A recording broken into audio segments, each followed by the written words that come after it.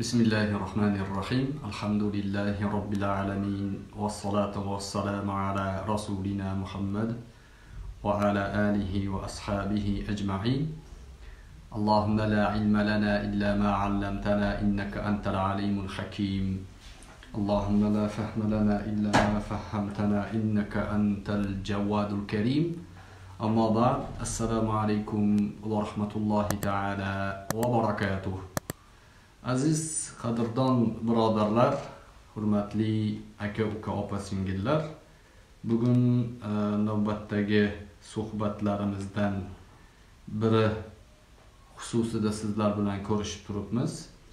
Haq subhanahu va taolo bugungi suhbatlarimizni barchamizga manfaatli qilgan bo'lsin. Tillarimizdan haqni o'zi joriy qilsin. Э, botilga qarshi dalillarimizni alloh subhanahu va taolo barchamizga manfaatli qilsin. Qalblarimizni o'ziga bo'lgan ixlos bilan to'yintirsin. Savollar turkumidan bugun ba'zi savollar keldi. Ya'ni mm, e, bir birodarimiz savol beryapti. Ko'p bunga o'xshagan savollar ko'p bular orasida bitta o'sha umumiylashtirib savollarni ikkita uchta savollarni qo'ydim. Hamma musulmonlar islom haq din deydi. Odil degan profildan. Hamma musulmonlar islom haq din deydi. Hamma islom eng to'g'ri ta'limot deydi. Mahmud abdulmo'min sizni va boshqa imomlarni islom hukmi bilan hukm qilmaydiganlar ular dinga qaytib tavba tavba qilishi kerak deyapti. Shu gapi bilan u siz va imomlarni dindan chiqib ketganlikda ayblayaptimi? Javobi uchun javobingiz uchun oldindan rahmat aytdilar o'zi mavzularimiz e, ilmiy asosga qurilishligi e, shuning uchun e, juda zarur ahamiyat kasb qiladi. Agar biz o'zimizni shaxsiy fikrlarimiz bilan bir gapni gapirib kimnidir ayblaydigan bo'lsak yer yuzida mutlaqo mutlaqo to'g'ri deb tanilgan odam qolmaydi. Chunki yer yuzida e'tibor bering har qanday inson har qanday manhaj maslak albatta uni yomon ko'ruvchisi va yaxshi ko'ruvchisi borligini ko'rsatadi. Kim bor? Hamma uni birdek yaxshi ko'radigan. Kim bor? Hech kim yo'q. Payg'ambarimiz muhammad sollallohu alayhi vasallamni ham yomon ko'rishardi yomon ko'radiganlar bor edi. U zotga nisbatan adovati bor hasadi bor e, jonlariga suiqasd qiladigan har doim u kishini tezroq maydondan yo'qotishlik o'ldirishlik u mutlaqo gaplarini to'xtatishlikka harakat qilishardi. Endi inson mm, o'zi ming loyga botqoqqa botib turgan bo'lsada qilayotgan ishini jinoyat ekanligini vijdonan his qilib tursada lekin shuni oqlashlikka harakat qiladi.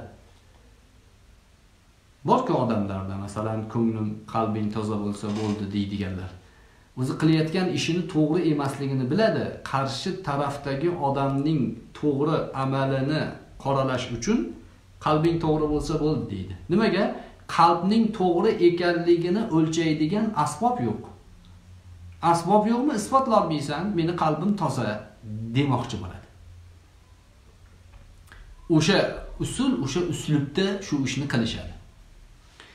Payg'ambarimiz sollallohu alayhi vasallam olib kelgan yo'l islom yo'li to'ppa to'g'ri bu buzilmaydigan hech qachon e, noto'g'ri narsani o'rgatmaydigan din. Doim to'g'rilikni haqiqatni o'rgatadi. Agar e, mana shu mana payg'ambar alayhissalotu vassalom keltirgan dinning haq ekanligi har doim shu ta'limot to'g'ri ekanligini barcha musulmonlar e'tirof qiladi. Bu e, savoldagi zikri o'tgan e, bizdan qochib yurgan borib e, ukrainadan iltimos qilib boshpana olgan e, musulmon yurtida yashashdan ukrainada yashashni afzal bilgan siyosiy qochqin siyosiy qochqin deganimiz biroz yengilroq gap gapiryapman. Siyosiy fohisha. Desak to'g'ri bo'ladi. Masalan mahmud abdul mo'min siyosiy fohisha. Qaysi mamlakat unga pul bersa joy bersa o'sha mamlakatdan turib musulmonlarga qarab qalbim pok deb o'tiraveradi fohishaga o'xshab. Chunki siyosiy o'yinlar ichiga kirgan odam fohishalik qilishdan boshqa ishga yaramay qoladi. Nimaga? Chunki bular dinni shar'iy nuqtai nazardan ikki dunyo saodati uchun kelgan ta'limotlardan foydalanib o'zlarining siyosiy maqsadlariga dinni e, o'yinchoq o'yin niqob qilmoqchi bo'lishadi. Bu ularning haqiqiy ma'noda siyosiy fohisha ekanligini bildiradi. Bir fohishaga aytishgan ekan siyosatda shunaqa gap bor. Siz e, siyosatga kirmaysizmi deganda obro'yim tushib ketadi degan ekan. Fohisha siyosatga kirsa obro'si tushib ketar ekan. Mahmudlar dinni siyosatga mana bugungi kundagi mavjud voqealikni ichida siyosiy bir tashkilot e, deb nomlanishiga harakat qilayotgan odamlar. Shu jihatdan ular zamonamizni siyosiy fohishalaridan bittasi mahmud. Ha bu davo e, to'g'ri bo'laveradimi? Bir odamni shaxsiga nisbatan shundoq gapirsangiz o'sha siyosiy fohishaga aylanib qoladimi desa man aytamanki yo'q. Bu davoni o'zi bilan bir odamni siyosiy fohisha deb deb xulosa qilmaymiz. Orqasida dalili hujjati bo'lgandagina keyin uni aytamiz. Inkor qiladigan odam yuzma yuz chiqib hujjatlashadi. Endi mahmud aytyapti imomlar mm, dinga qaytishlari kerak. Imomlarmish dinga qaytishlari kerak ekan tavba qilishlari kerak ekan. E ular dinda emasmi? Degan savolni beryapti birodarimiz. Ya'ni shu xulosa kelib chiqyapti. Dinga qaytish kerak degani u dindan chiqib ketgan qaytsin orqaga degani. Mahmud bu xususiyat bu e, manyovr bilan ya'ni labini bo'yab ko'zini e, piskasini ko'paytirib e, har xil burniga upalarni surtab kiprigiga kiprik qo'yib hunar qiladigan fohishalar boru o'sha fohishalarni manyovrini qilyapti. Imomlar dinda emas dinda bir dona mahmud o'zicha qalbi pok uni. Qalbi pok dalil hujjat desangiz dalil yo'q. Dalil yo'q. Demak bu gapni aynan mana shu suratdagi gapni tarixda ham aytishgan. Ya'ni ummat ichida insoniyat ichida eng afzali bo'lgan insonlarga qarshi aytilgan. Yaxshi odamlar aytmagan. Dinga qayt tavba qil dinga qayt degan gapni abdurahmon ibn muljam hazrati ali roziyallohu anhuga aytganlar. Dinga qayt deyishgan. besh yuzta odam misrdan madina munavvaraga kelib bosqin uyushtirishgan. Hazrati usmon roziyallohu anhuga dinga qayt tavba qil bo'shatib qo'y hali xilofatni deb yoqalaridan ushlashgan. Ya'ni bu gapni gapirgan odamni gapi bilan ham kimdir dindan chiqib ketgan bo'lmaydi. Mana yuqorida aytganimdek man aytgan gapimga dalil bu yuzma yuz bo'ladi mahmud aytgan gapiga ham dalil yuzma yuz bo'ladi. Xohlagan odam xohlaganini aytib ketaverganda edi nima bo'lardi? Davo qilgan odam bir odamni aybdor bir odamda haqqim bor degan odamni gapiga quloq solib ha shuni gapi to'g'ri deb xulosa qilinganda nima bo'lardi? Faraz qiling. Bu farazni payg'ambarimiz sollallohu alayhi vasallam hadisi shariflarida ochiq oydin aytganlar nima bo'lardi? Abdulloh ibn abbos roziyallohu anhudan rivoyat bor. u kishi aytadilarki anna rasululloh sollallohu alayhi vasallam qol لو يعتى الناس بدعواهم لادعى رجال أموال قوم ودماءهم لكن البينة على على المدعي واليمين على من أنكر dedilar bu imom bayhaqiy va boshqalar rivoyat qilishgan hadisning ba'zi matnlari mana shu e, al bayyinatu ala man iddaa kabi rivoyatlarini matnlari sahihaynda ham kelgan.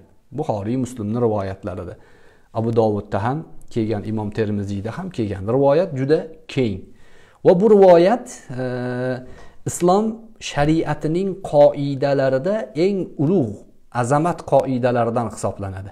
Bu qoidalar biz bilan biz aytayotgan gap va bizga aytayotgan odamlarning gaplarini o'lchovi bu. Tushunyapsizlarmi? Qaytadan aytaman? Mana bu hadis shunaqa ulug' qoidalardan biriki islom shariatining mezoni bu tarozisi. Bu tarozuga yer yuzidagi har qanday da'vogarning da'vosi solinadi va uning da'vosi haq yoki nohaqligi o'lchanadi. Har qanday meni ham da'voyim solinadi mahmudni ham da'vosi solinadi yusuf davronning ham da'vosi solinadi. Masalan abdurahim shoshiyni da'vosi solinmaydi. Nimaga? U yo'q u abdurahim shoshiy degani yo'q u odam emas ya'ni inson emas u profil. Chunki davoning shartlaridan biri mavjud shaxs bo'lishi kerak. Davoni rukunlari bor. Davo qiluvchi mavjud shaxs bo'lishi kerak. Yo'q bo'lmaslik kerak. Har kimning davosi solinadi. Hadisni tarjimasini aytamiz. Rasululloh sollallohu alayhi vasallam aytadilar agar odamlarning davolarini o'ziga ishonib bir odam davo qildi davosiga ko'ra uni unga aytgan narsani berib yuborilaverganda edi qoziga keldi falonchida haqqim bor dedi. Yoki mahmud chiqdida falonchi dinga qaytsin dedi. Ollohni shariati bilan hukm qilmayapti dedi misol uchun. Mana shu gapni o'zi shu davoni o'zi haq bo'lganda edi. Shunga ko'ra uning davosini olqishlash joiz bo'lganda edi. Nima bo'lardi? Odamlar odamlar boshqa odamlarning qonlariyu mollarini o'zlariga halol qilib olishardi. Palonchini o'ldirish kerak pistonchini haqqini olish kerak deyishaverardi. Lekin payg'ambar alayhissalom aytyaptilarki yo'q davoni o'zi kifoya emas. Lakinnal bayyinata alal muddai. Davo qiluvchi hujjat keltirish kerak. Davo qiluvchi hujjat keltirish kerak davosiga. U davo hujjati qanday bo'ladi desa qilayotgan davosining mavzusiga aloqador haq bo'lsa haqqini shar'iy nuqtai nazardan bo'lsa shar'iy dalillarini dunyoviy maqsadlar bo'lsa dunyoviy asoslarini keltirish kerak. Bularni o'ziga xos o'ziga yarasha asoslari bor. Yuqorida aytganimizdek agar davo qilayotgan shaxs mavjud bo'lmasa uning qilayotgan davosi shar'iy mezon shar'iy og'irlikka yaramaydi. Muddai. Bayyina shu. Muddai alal muddai davo qiluvchi mavjud bor bo'lishi kerak. Bor. Yo'q odamning davosi davo hisoblanmaydi. Keyin dalil keltirish kerak degani ya'ni vujub vujubiyatga dalil keltirish kerak. Ya'ni manga qarzi bor degan ma'noda unga dalil keltirish kerak. Agar bir kishiga man manga ehson qilaman degan edi ehson qilmayapti deb davo qilsa bu davo qabul qilmaydi. Nimaga? Ehsonni xohlasa qiladi xohlasa qilmaydi. Va'da bergan bo'lsa ham xohlasa qiladi xohlamasa va'dasiga qiyomatda javob beradiyu qozini oldida unga bo'yniga yuklatilmaydi. Va'da oz ekan deyiladi lekin san va'da berdingmi to'la deyilmaydi. Undan tashqari undan tashqari davo qiluvchi odam balog'atga yetgan bo'lishi kerak. Davo qiluvchi balog'atga yetgan bo'lishi kerak. Yosh go'daklarning davosi shar'iy mahkamada qabul qilinmaydi. Mana bu e, yana bir qancha dalillarni keltirishgan imom navoiy e, bu hadisni sharhida e, ko'p gaplarni keltirgan ekanlar. Aytadilarki qola navoiy rahimaulloh bustonil orifin degan kitobda keltirganlar navaviyni asarlari. وهذا الحديث قاعدة كبيرة من قواعد أحكام الشرع ففيه أنه لا يقبل قول إنسان فيما يدعيه بمجرد دعواه بل يحتاج إلى بينة أو تصديق المدعى عليه فإن طلب يمين المدعى عليه فله ذلك imom navoiy aytadilar bu hadisni sharhida. Bu hadis shariat ahkomlari qoidalari ichida eng katta qoidalardan hisoblanadi. Bu bu hadis eng katta qoidalardan shariatning qonunlaridan hisoblanadi. Shariatga amal qilish haqida da'vo bor hammamizda. Demak bunga amal qilishimiz kerak. Bu hadisda bu hadisga ko'ra bir insonning quruq gapi qabul qilinmaydi. Bir inson chiqib aytyaptiki imomlar dinga qaytsin dindan chiqib ketgan ular deyapti. Quruq gap bu. O'zining shaxsiy mantig'i bilan aytayotgan gap imomlar unga ergashmayotgani uchun yoki imomlar ahli ilmlar talabalar unga nisbatan unga nisbatan qarshi gapirgani uchun gapirgani uchun ularni dindan chiqib ketdi degan davoni qilayotgan bo'lsa uni davosi eshitilmaydi. Eshitilmaydi. Yana e, bir insonki davo qilyapti davo qilayotgan odamni o'zi yo'q. O'zi yo'q. Bu yo shaytoniy vasvas bilan odamlarni e, musulmonlarni ichida turli ig'vo fitnalarni tarqatish uchun berkinib olgan din dushmani bo'ladi yoki munofiq bo'ladi berkinib olib musulmonlarni shubhaga shakka tushirish uchun harakat qilayotgan e, yoki u berkinib olayotganligini o'zi shar'iy e, masalalarga aralashishlikka haqli haqqi yo'qligini bildiradi. Chunki berkinib oldimi? Ha berkinib oldi. Nimaga? Chunki shar'iy mahkamada u yo'q endi yo'q. Qanaqa qilib uni nomidan u davo qilayotgan narsani shariat qabul qiladi? Qilmaydi mujarrad davoni o'zi mujarrad davoning o'zi Э, demak э, davoni qanoatlantirishlikka yaramaydi. Mana hozir shoshini ham aytishyapti albatta ular e, bizni shu kunga qadar oyat gapiramizmi hadis aytamizmi shariatga muvofiq gaplarni keltiramizmi birortasini qabul qilmaydi. Nimaga? Ularning faoliyatlarini keskin suratda fosh qilib tashlaganligimiz uchun bular e, buni alamini olish uchun boshqa tomondan harakat qilishadi. Davo qilyapsan. Kel yuzma yuz desangiz kelmaydi nimaga? Chunki yuzma yuz kelgan paytida mana bu hadisi sharifning taqozosiga ko'ra javob berolmaydi javob berolmasligini bilgani uchun berkinadi. Berkinadi va berkingani uchun asli islom nuqtai nazaridan buni biz musulmonlarga aytyapmiz. Musulmonman degan odam shariatni tushunaman shariatga amal qilaman degan odam e, bunaqa da'volarda asli yo'q bo'lgan ya'ni kimligi noma'lum bo'lgan odamlarga e, qo'shtirnoq qo'sh tirnoq ichida aytganda suyanmaydi. Ya'ni bu biznes bu. Ya'ni qo'sh tirnoq ichidagi savdogarlarni biznesi bu. Unga pul tikilmaydi. Chunki oqibatida yo'q hech narsa yo'q. Sizni olib borib bir joyga olib borib kasodga uchratadi qidirsangiz yo'q bo'lib chiqadi.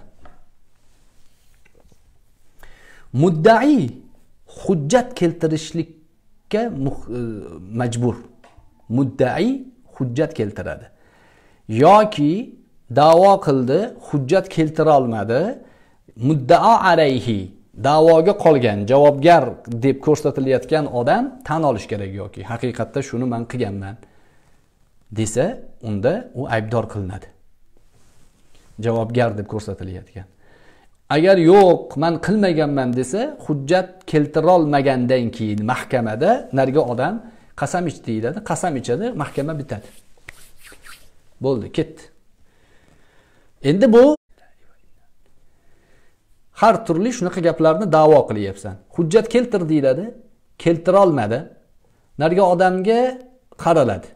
Narigi odamda u amoratlar u belgilar topilmasa mana bu da'vogarni tuhmatchi deyiladi unga ta'zir beriladi. Shahodati soqit qilinadi. Masalan mana shu masalalardan oldin ham aytganmiz mahmud shahodati soqit bo'ladi shar'iy nuqtai nazardan man qozi emasman lekin mahmudni bir kun olib kelib ukrainadami boshqa joydami ushlab aytayotgan gaplariga dalillar so'rab davoyingga hujjat keltir desangiz shariatni bilmaydi. Bir soat gapiradi na qur'on na hadis. Hech narsasiz gapirib o'tiradi. Aytayotgan gapini qur'on hadisga bog'lab bera olmaydi. O'zini siyosiy e, ya'ni buzuq tushunchasini diniy to'n kiygizib odamlarga taqdim qiladi qo'shtirnoq ichida. Ko'rinishidan chiroyli asalga o'xshaydi ichi to'la zahar bo'ladi. Shuning uchun mahmudni atrofida yurgan birodarlar mabodo mabodo farazan nikohingizda guvoh sifatida mahmud qatnashadigan bo'lsa uni e'tiborga olib qo'yinglar. Nikohiylarga putur yetishi mumkin. Chunki davo qilib musulmonlarga tuhmat qilib shuncha paytdan beri qilib kelayotgan davolarini birortasiga hujjat keltirgani yo'q. Hujjat keltir desangiz tog'dan kelib bog'dan kelib hamma narsani pachag'ini chiqarib tashlaydi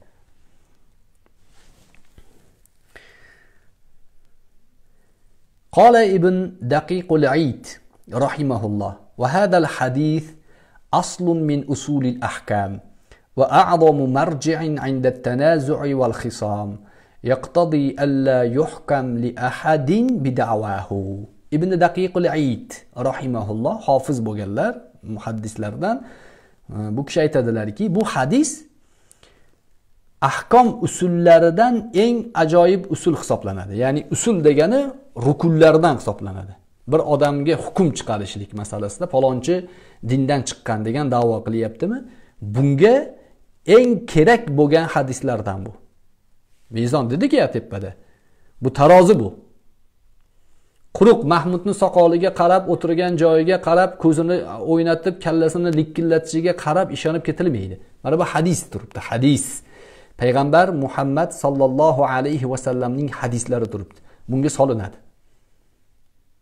Va keyin da'vogarni gapiga quloq solsa bo'ladi. Dalil keltirsa eshitiladi dalil keltirolmasa muddao alayhidan qasam talab qilinadi. U qasam ichsa mana uni pachag'ini chiqariladi keyin. Ta'zir beriladi.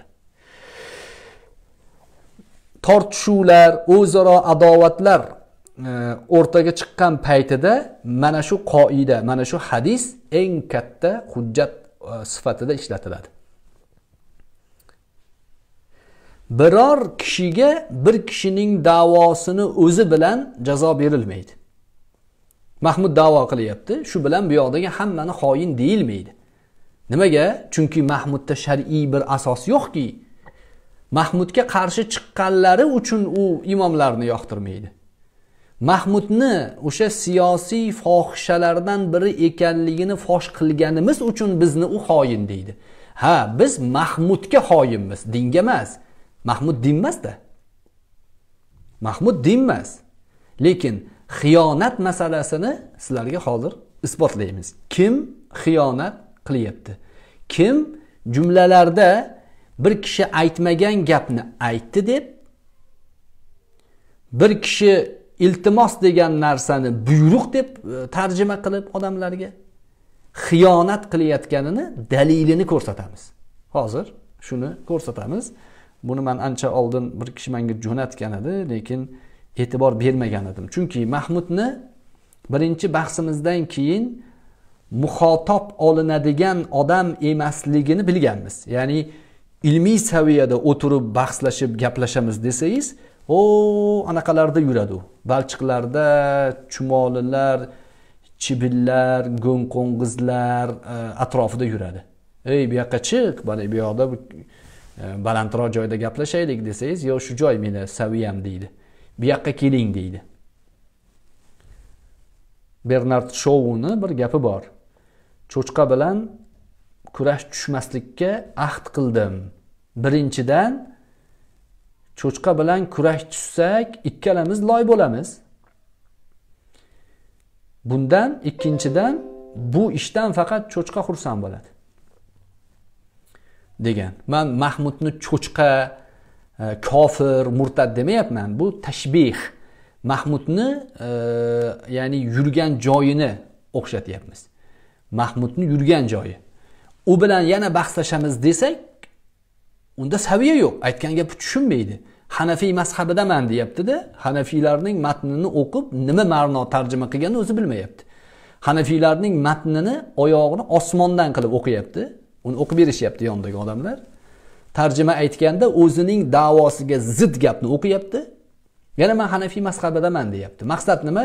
Uning atrofida unga ko'r ko'rona ergashayotgan bechoralarga raddiya berdiku degan xulosa uchungina gapiryapti. Matnni asli ma'nosi mahmudni oyog'ini osmondan qilib qo'yganini o'zi ham bilmayapti ya'ni. Qanaqa qilib bu bilan ilmiy bahs qilamiz? Shuning uchun man buni aytgan edimki bu bo'lmaydi bu. Bu kelmasligi aniq. Ikkinchi bahsga kela olmaydi. Lekin bunga yana raddiya beraverishlik e, odamlarni ko'zi ochildi. O'sha kunlari ba'zi ani besh barmoqchilar buni tarafini olib ha o'zicha qarsak cholayotgandi reklama qilib berdinglar deb. Man masalan youtubeda uncha aktivlashganim yo'q. Youtubeda bolalar qo'yib turibdiyu. Ularning mezoni bilan aytganda ham sakkiz ming e, to'rt ming besh ming atrofida edi o'sha kunlari. Birdaniga yetti ming sakkiz mingga yaqin profil qo'shildi bizga. Hozir hozir ellik to'rt mingga yaqin bo'ldi bizni profilimizda. Ya'ni taqib qiluvchilar ellik to'rt mingga yaqin. U paytda uniki qirq sakkiz ming edi. Hozir yetmish to'rt ming bo'libdi bizniki ellik to'rt ming bo'ldi. Endi hisoblab olavering ya'ni bu joyda juda katta e, yutuq juda katta e, ya'ni haqiqatni manfaati ahli sunnaga bo'ldi. Hizbiylar e, o'sha hizbiy jamoalarga ergashayotganlar ichida yarim dona saviyali odam qolgani yo'q. Biroz ilmi bor odam qaytyapti undan? Biroz ilmi bor odam qaytyapti? Bular trolling kompaniyalarini ishga solishadi. To'xtamasdan bular hattoki mahmudni sahifalariga pul tikib pul bilan aylantirishyapti. Siyosiy fohisha dedim ya siyosiy fohisha bular. Pul berib ya'ni manikur pedikur qilishadida tashqariga taqdim qilishadi. Ya'ni mana sizlarga tayyor fohishalar degandek. Qo'shtirnoq ichida man e, e, majoz ma'nosini aytyapman haqiqiy ma'noni emas. Endi falonchi xiyonat qildi pistonchi e, dindan chiqib ketdi deyish oson u ahli iymon odamga oson emasda bu gap bu gapni gapirish. Farosati yo'q ilmiy e, makonati yo'q ollohdan qo'rquvi to'g'ri shakllanmagan odamlarga oson. Gapiraveradi falonchi xoin pistonchi dindan chiqqan deyaveradi. Lekin uni isbotlash masalasiga kelganda mana bu hadisi sharifga ko'ra e,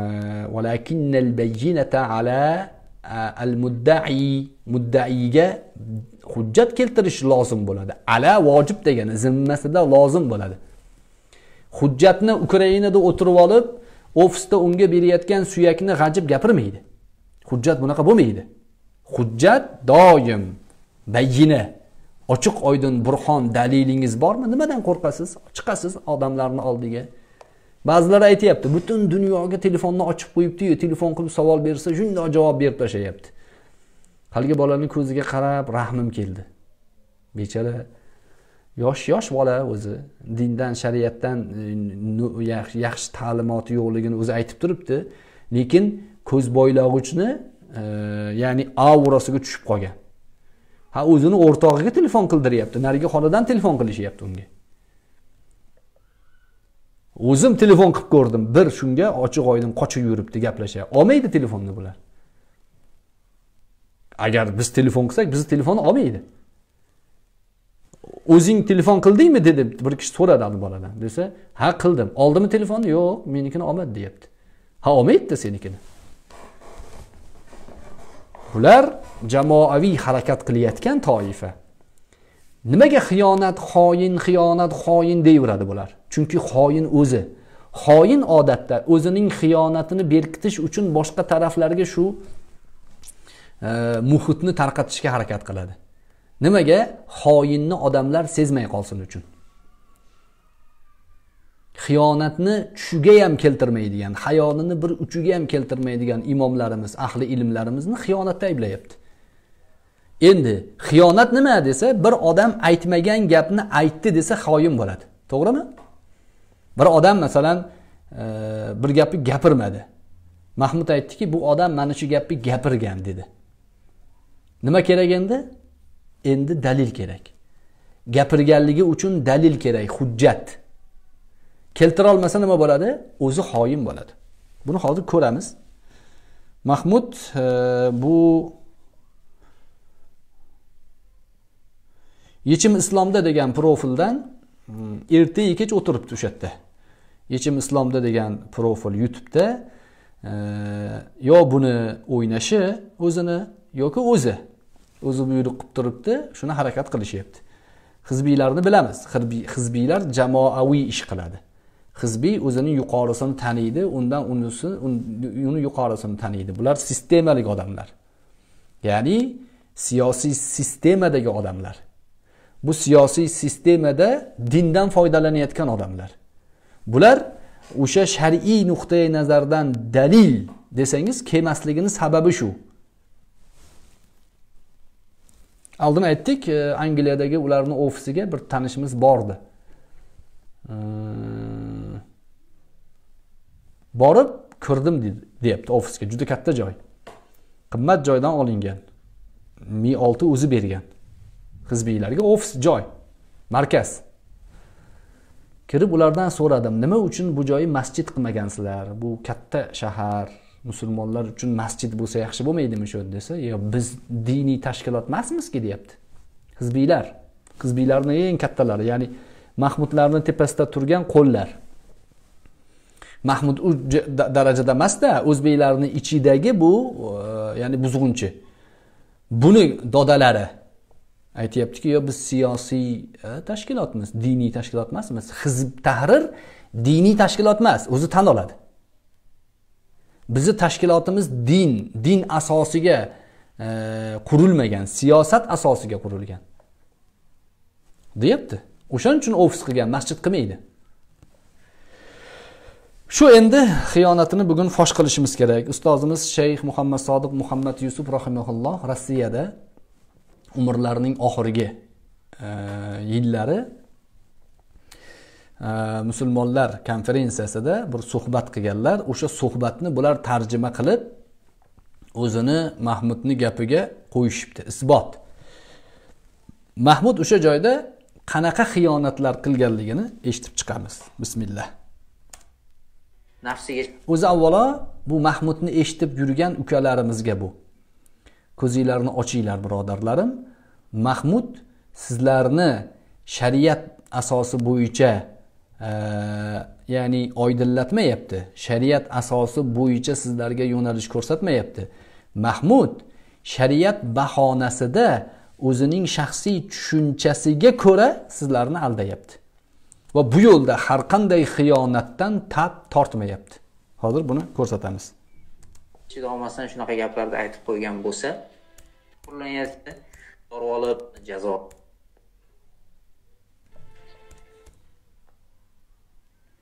Ya'ni o'zini mazlummiz deb oladi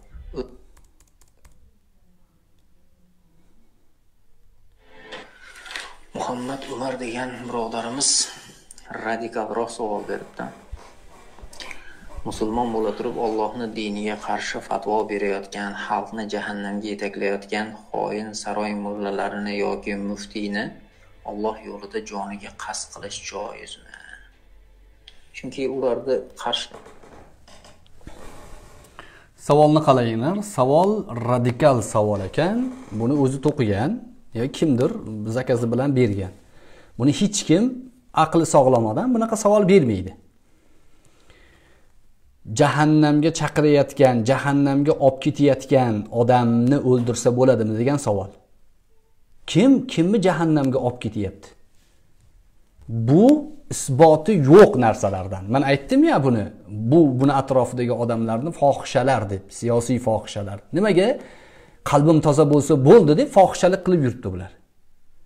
Qalbini tozami toza emasligini isbotlaydigan apparat yo'q. Ya'ni bilmaysiz uni qalbini yorib ko'rib bo'lmaydi. Zohiriga qarab muomala qilamiz. To'g'rimi? To'g'ri. Bu o'sha e, jahannamga tortib ketayotganligini qayerdan bilyapsan degan demayapti javobga. Uni xiyonat qilayotganini shariatga zid ish qilayotganini yuzma yuz o'tirib shariat bo'yicha masala bo'yicha shuni olloh nozil qilgan narsa bilan hukm qilmaganlar ana o'shalar kofirlardir degan oyatni o'zi bilan gaplashamiz desangiz kelmaydi nimaga? Bular o'zlarini fosh bo'lib qolishlaridan qo'rqadi. Shuning uchun yuzma yuz bahsdan oq tavba ko'k tavba qilib tashladi. Bir marta chiqib bu bo'lari bo'ldi. Endi bundan keyin shunaqa gaplar kelsa e, javob qarang qilishligi ixtilofliga qarshilikda ya'ni o'zini oqlaydigan ba'zi bir taraflari bor. Mazlummiz deb oladi doktor kelganda majburlashdi deb oladi yoki uni qasd qilmagan edim deb oladi. Shuning uchun unaqa odamlarni o'ldirishlikka ochiq hujjat yo'q. O'sha odamlarni o'ldirishlikka ochiq hujjat yo'qligini savol bergan ham biladi o'zi. Savol berganni o'zi ham biladi. Bu zakaznoyda bu savol. Faraz qiling. Qaysi aqli joyida odam muftiy hammani jahannamga olib ketyapti degan xulosa qiladi? Qaysi aqli joyidagi odam? Qaysi aql tushuncha bilan muftiyni o'ldirsam bo'ladimi deb fatvo so'raydi? Musulmon odam. Ko'chadan kelgan shariatni mutlaqo tushunmaydigan odam ham o'ylanadi. E to'xta deydi qanaqasiga muftiyni qanaqasiga o'ldiraman deydi. Bu savol o'zi ma'lum ya'ni savoldan muftiyni o'ldirsa bo'ladimi degan savolni orqasidan ochko yig'moqchi va muftiy shunaqa jahannamga olib ketyapti odamlarni degan gapni e, subliminal atrofidagilarga singdiryapti. Zimdan singdiryapti. O'shaning uchun e, gapni qarang unga ochiq hujjat yo'q. Yopiq hujjat bormi? Ochiq hujjat yo'q. Ular bahona qiladi do'ppi tor kelgan paytida undoq qilib oladi bundoq qilib oladi. Ya'ni aniqda muftiy jahannamga olib ketayotgani aniqda lekin ular gapni aylantiryapti. Shuning uchun ularga ochiq hujjat yo'q degan urg'uni beryapti. Bu savolni bergan odam va buni atrofida eshitib yurgan mayda mayda kichkina kichkina bolacha bechoralar qanday tarbiya bilan shakllanadi? Endi nima degan xulosaga boradi bular? Ya'ni o'zini musulmon sanab shunaqangi haligi texnichni xiyonat qilib qo'yadiganlarni payg'ambar sallallohu alayhi vasallam ham jazolagan emas. Payg'ambar alayhissalom ham texnichni xiyonat qilganlarni jazolamagan ekanlar.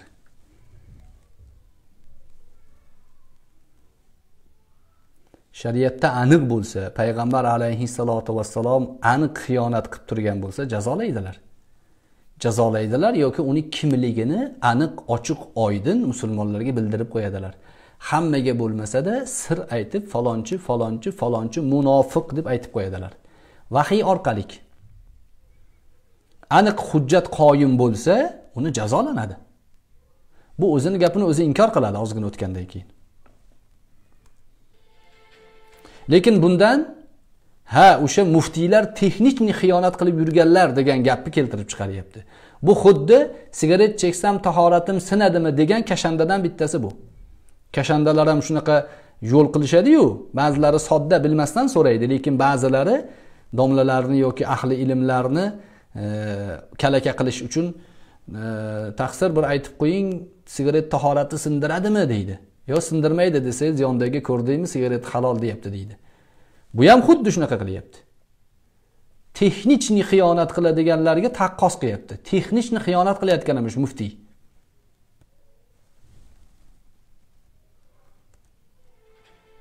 Nimaga desa ochiq emasda qilayotgan ishi.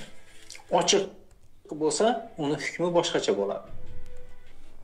Ochiq emas degani bular ochiq ochiq emas yashirin xiyonat qilyapti muftiy demoqchi bu buni suhbatini eshitib yurgan odamlar yoshlar bolalar ta'sirlanib shuni qarmog'iga tushib qolganlar ukalarim ko'zingizni oching.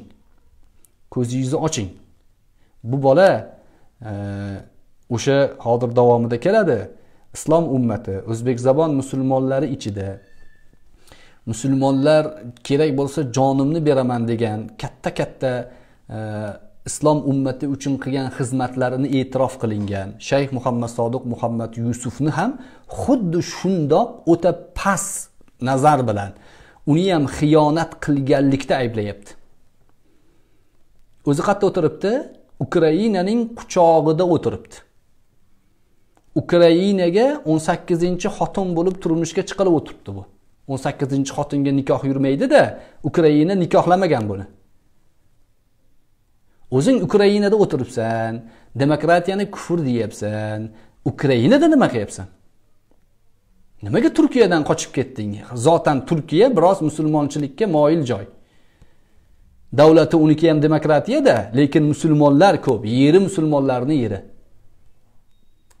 Shunda ham haligi qatl qilish deyotgan narsani o'zini o'rni bo'ladi shariatda. Uni qozi mana shu odam qatl qilishga loyiq deb turib ommani ko'z o'rnida olib chiqib uni jazolanadi.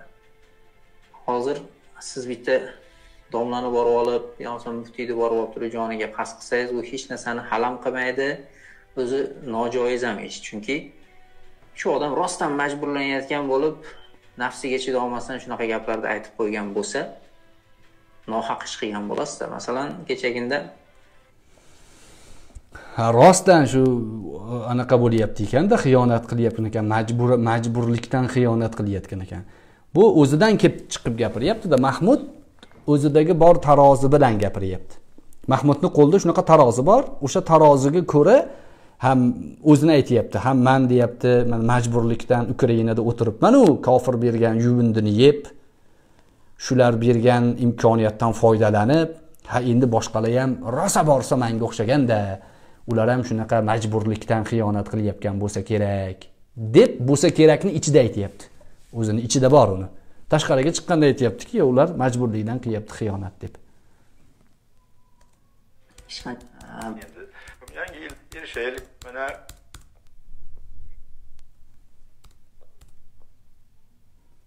deb e'tibor qilinmaydi degan demokratiya bir arach din bo'lmagandek.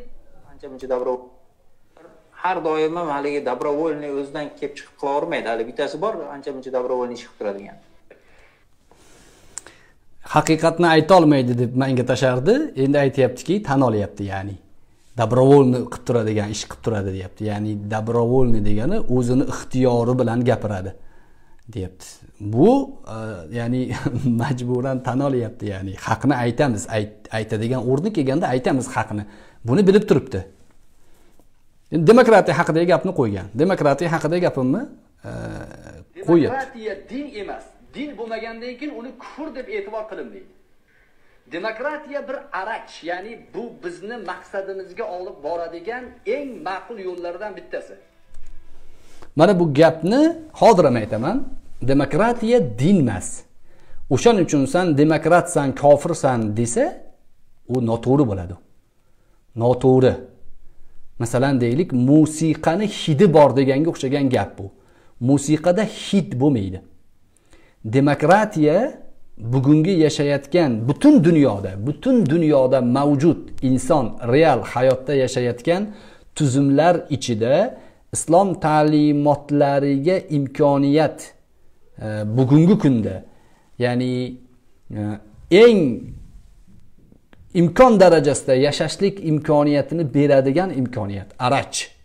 Arach degani markab. O'sha markabni ichida biz dinimizga amal qila olyapmizmi? Shariat hukmlariga qo'limizdan kelgancha amal qila olyapmizmi? Islomimizni shu shu arach shu maydonda e, himoya qilib yashay olyapmizmi? Yuzda yuz bo'lmasada yuzda to'qson. E'tiqodimizga yuzda yuz e'tiqod qila olyapmizmi? Ha? Demak buni arach deyiladi. Arach degani xuddi yo'l harakati qoidalarida svetoforni ko'k qizil sariq chirog'iga o'xshaydi. Svetoforning ko'k qizil sariq chirog'i shar'iy nuqtai nazardan yo'q. Yo'q shariatda bunga asos yo'q. Ya'ni zohir mubosharatan yo'q. Lekin yo'lda o'sha qizil yonsa to'xtab turishligimiz narigi tomondagi odamga haq beradi. Bu haq shar'iy nuqtai nazardan uning haqqi. Qizildan o'tib ketgan odamga shariat nima deydi? Harom amal qilding deydi. Nimaga birovning haqqini tajovuz qilib olyapsan deydi. Svetofor o'zi din emas edi u svetoforga amal qilib biz dinimizga erishyapmiz. Inson huquqlariga musulmon haqlariga yo'l topyapmiz. Gapimizda jon bor ya'ni shar'iy asosi bor. Demokratiyaning ham aniq kelishilgan tarifi yo'q. Bular mana ukrainada o'tiribdi. Ukrainada ruxsat berilgan narsalar bilan o'zbekistonda taqiqlangan narsalarni solishtirsangiz o'zbekiston ancha madaniy ancha o'zbekiston shar'iy nuqtai nazardan e, ular aytayotgan yashayotgan joydan ko'ra afzalroq. Afzalroq. Hozir transgenderlar hammasi ukrainaga qochyapti. Rossiya hatto rossiya bu joyda biz ikkita erkakni nikohiga hech qachon ruxsat bermaymiz deyapti. Buni ukrainada qo'lga olishganda mandan so'raganda o'sha kun gaplarimni eshitib ko'ringlar. Man aytgan edim buni ukraina o'ziga ishlatadi. Ja berib yubormasa kerak. Ukraina rossiya bilan muxolif rossiyadan hamma hizbiylar qochsa ukrainaga qochadi. Bu o'sha yerda yuribdi. Demak shu demokratiya bu e, din emas. Bizni bizni nuqtai nazarimizdan diniy e'tiqod emas u.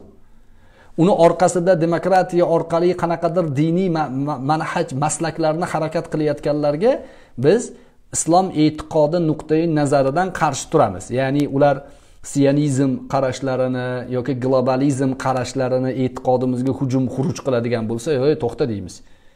Yo bizni dinimizga san e, e, demokratik qonunlaring bilan hujum qilishga haqqing yo'q.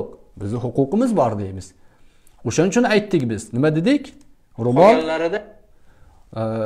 jamoat joylarida diniy kiyim kiyish taqiqlanadi deganda aytdik o'shanda. Yo'q dedik. Ro'mol diniy kiyim emas. Uni taqiqlashga haqqinglar yo'q dedik. Aytdik buni. Mana shu gapimizni aytganimiz uchun ham buni tan ololmasdan payt poylab payt poylab o'zlari xato degan bir gapni topgandan keyin ayyuhannas solishyapti. Davom etamiz shu turti yurib zo'rg'a chiqaradi. Shu bir narsani aytib qo'yadi gullab qo'yadi. Endi bu aniq bunaqa narsani hamma biladi o'zbekistonda domlalarni chiqib majbur gapirtirishi majbur kitoblar yozdirishi majbur shunaqa qilishligini hamma biladi. Mana shu gap mana da'vo. O'zbekistonda imomlarni majburlab gapirtirish majburlab kitob yozdirish hamma biladi. Aniq deyapti. Bu da'vo. Payg'ambar alayhissalotu vassalom abdulloh ibn abbos roziyallohu anhu rivoyat qilgan hadisda lakinnal bayyinata ala man alal alal muddai deyaptilar. Da'vo qilgan odam bayyinat keltiradi.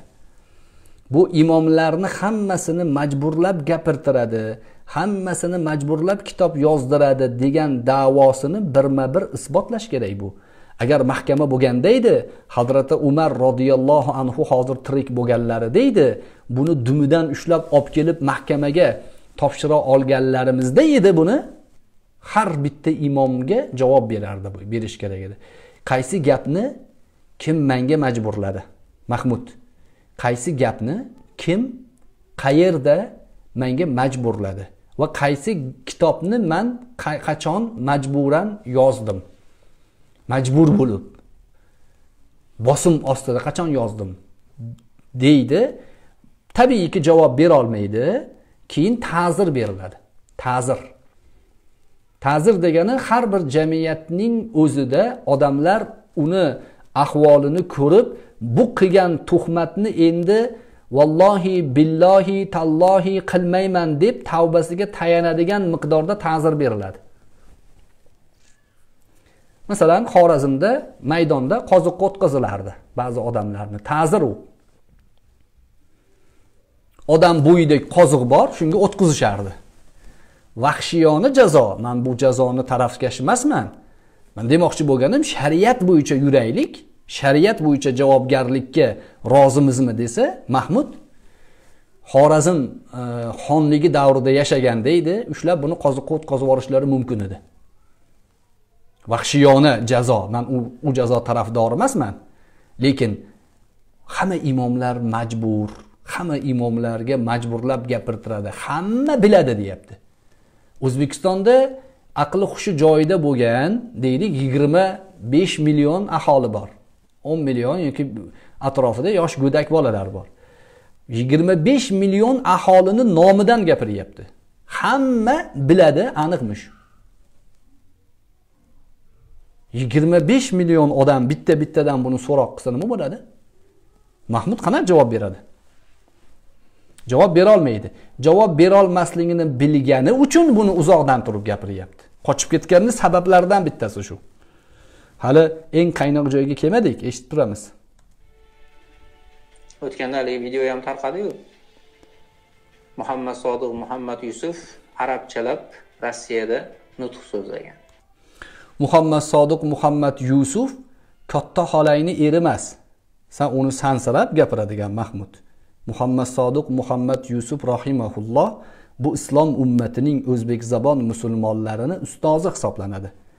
San o'zing yarim chaqaga arzimaydigan odamsan og'zingni yaypaytirib olib muhammad sodiq muhammad yusuf gapirdiyu deb o'ta past nazar bilan. O'zi o'sha botqoqdagi cho'chqa tabiat odam o'zi. Gapirishni qaranglar hazratni muhammad sodiq o'rtog'imi? O'rtog'ingmi sen u? Birga osh yeb o'tirib o'tiribsanmi san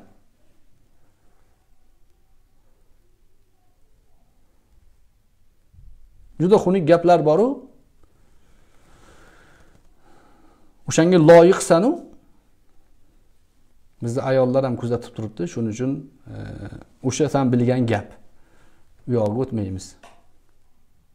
O'sha yerda o'zi aytib beryapti muhammad sodiq meni deyapti uyimga kelib esenbek kitob yozib bergin deb mendan talab qildi. Shuning uchun hizbut tahrirga qarshi kitob yozdi. Ya'ni kim talab qilayotganini ham aytyapti ya'ni dxx bugungi avvalgi smb mxx avvalgi. Kattasi deyayotgani bilmadim. Inoyat o'zi kelganmi yo g'ulomov kelganmi bugungi kunda xalq dushmani deb umrbod qamalgan. Yo unisi yo bunisi kelgan yo undan kichkinaroq laychasi kelgan. Muhammad sodiqqa zakaz qilgan. Mana ular haqida kitob yozib berdi degan uni bir iymon e'tiqodli bir taqvoli bir mo'min kelib zakaz bermagan. U mahalda karimov tirik edi o'sha kofir karimovni buyrug'i bilan bitta laychasi kelganda uni men tuhmat qilib aytmayapman o'zini gapi bor xohlasalar qo'yib ham qo'yadi o'sha. Ya'ni muhammad sodiq muhammad yusuf aytyapti hizbut haqida yomonlab kitob yozganman. Buni menga manavi smb zakaz qilgan deyapti.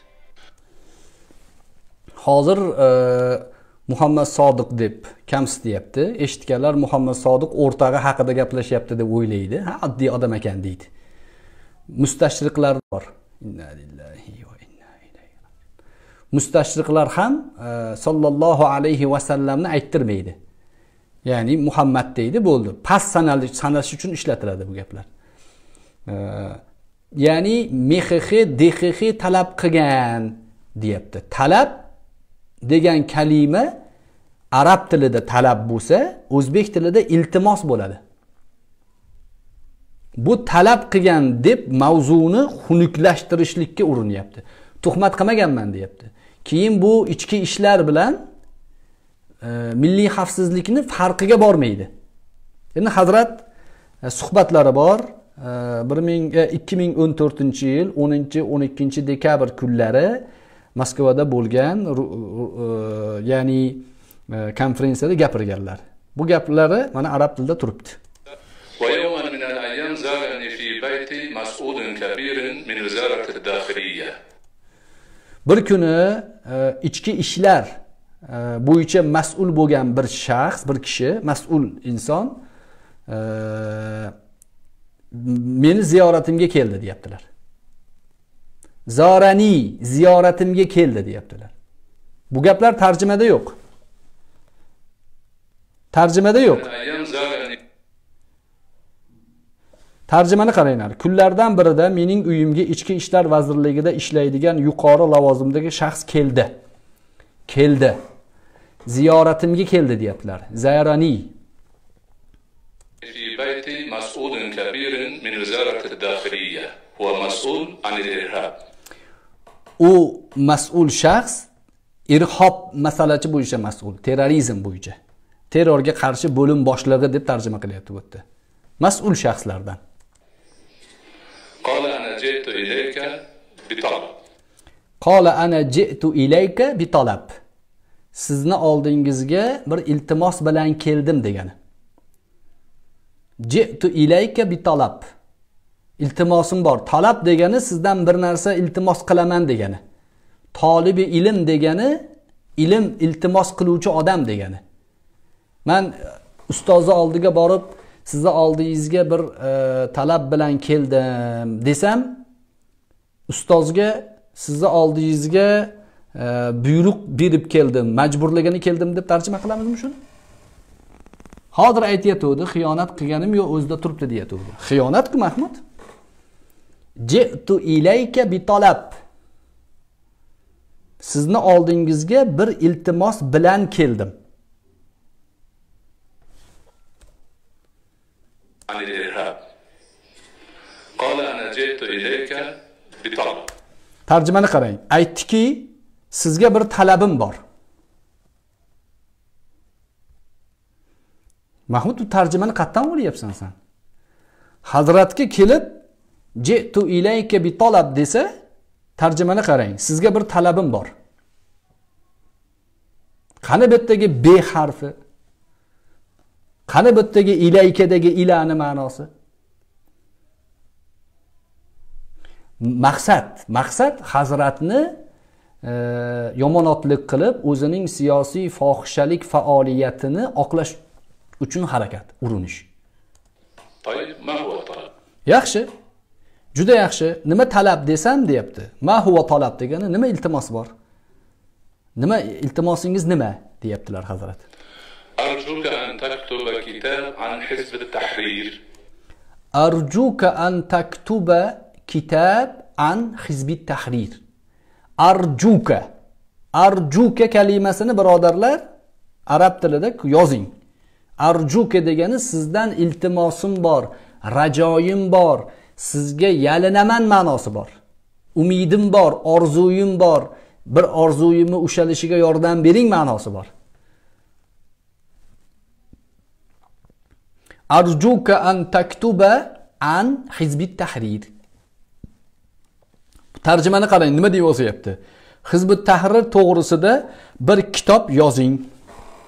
Buyruq tarzida tarjima qilish kerak u birodarlar sizlardan bir narsa haqida uzr so'rayman. Sababi e, bizni sharjimiz kamayib qolyapti. Shunga yaqinroq qo'yamanda ovozimizni biroz e, yaqinroqdan eshitmasak zaryadga qo'yib qo'ymasam bo'lmaydi. Hozir bu xoinni xiyonatini ochib beramiz. Inshaalloh bu bilan uni atrofida turgan e, musulmon birodarlarimiz najot topsa.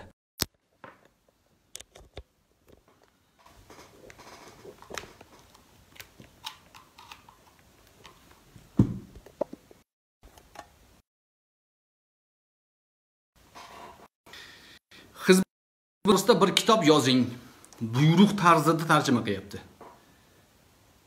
u odam nima deyapti? U odam arjuka an taktuba an hizbit tahrir al kitab an hizbit tahrir hizbut tahrir haqida bir kitob yozib bersangiz iltimos deyapti bu iltimosni sabablari bor ichki ishlar e, vazirligi e, milliy xavfsizlik e, tashqi ishlar vazirligi o'zbekistondagi vaziyat 99 yili juda og'ir holatga kelib qoldi bu masalalar bo'yicha musulmon xalqlar ichida ixtilof bosilmas ekan bu janjal tugamasligi bu janjal tugamasligi hammaning ko'zida oshkor bo'lib qoldi oydin bo'lib qoldi.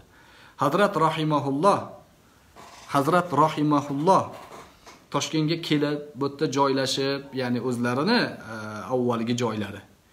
Rasmiy hech bitta joyda ishlamayman ilmiy faoliyat qilaman deb kelganlarida bir necha hizbi tahrir a'zolari faoliyat yuritayotgan edi ikki minginchi yillarda juda og'ir vaziyat edi. To'qson to'qqizinchi yilda bir kunda uch mingta odam radikal urinishlar bilan e, musulmonlarni oilalarini tashvishga soldi. Uch mingta bola qamaldi. Oilada nechta odam tashvishga tushadi? Mana bu tashvishlar yechimi qamash bilan boshqa narsa bilan iloji bo'lmay qoldi. Keyin ichki ishlardan mas'ul shaxs kelib hazratdan iltimos qilyapti. Eshitilyaptimi ovozimiz yo eshitilmayaptimi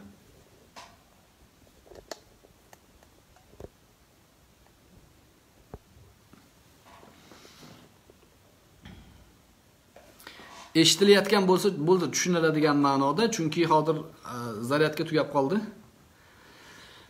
Bu iltimosni aytyapti. Hazrat hazrat Rahimahulloh buni ochiq oydin ommaning oldida hamma eshitadigan gap qilib gapiryaptilar. Ular kelib arjuka dedi iltimos dedi. Bizni harakatimiz bilan hizbut tahrir to'xtamayapti. Ilmiy asosda bularni qilayotgan faoliyatlarini bayon qilib bir kitob yozib bering deyishdi. Deyishdi. Tarjimani qarang.